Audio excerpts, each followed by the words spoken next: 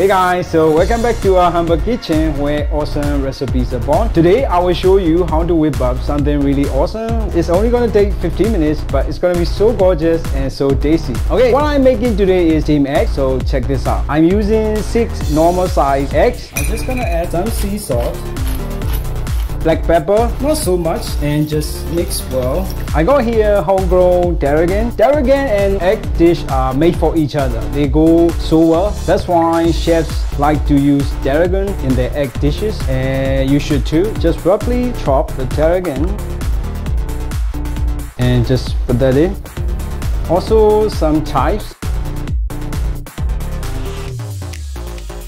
Okay, so it's like a pizza. You can put anything you want in it, but things that you put in, they have to be cooked at the same time as the egg. So you can only put in uh, the ingredients that are easily cooked. So if you wish, you can put in like lobster, crab meat or prawn because they cook easily. What I'm gonna do is I'm gonna put tiny pieces of chicken for flavor. I have a chicken breast thinly sliced and just mince it a little bit and then just put the chicken pieces in. I'm also gonna put in some slices of chicken frank. They're good, they're easily cook. Just trying to get like uh, thin slices. Okay, so you're gonna put the slices in. And I'm also gonna put Worcestershire sauce, just one tablespoon. So we got everything we want uh, in the bowl right now. So we're gonna bring them together. I'm gonna use a hand mixer, but you don't need to do that. You can just use whatever you have. Chopstick, spoon, fork, whatever you have in the kitchen.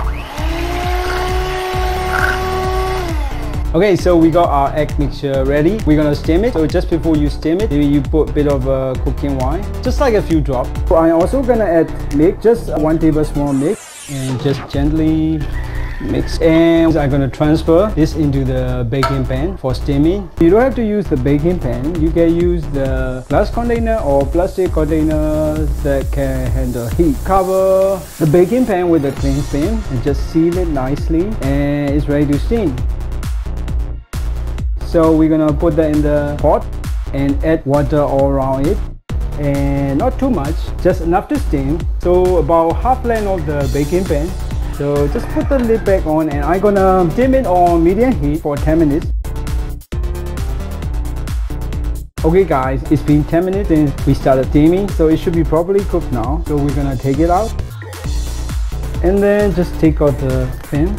Beautiful. And the smell is really nice as well.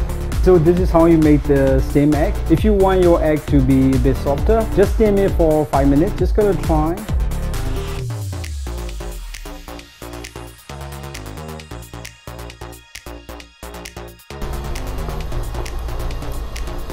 Mm. So it's really good, it's really great and it's easy to make. It's a great comfort food, so trying to make this at home. I'll be back with more awesome recipe later, so until then, ciao!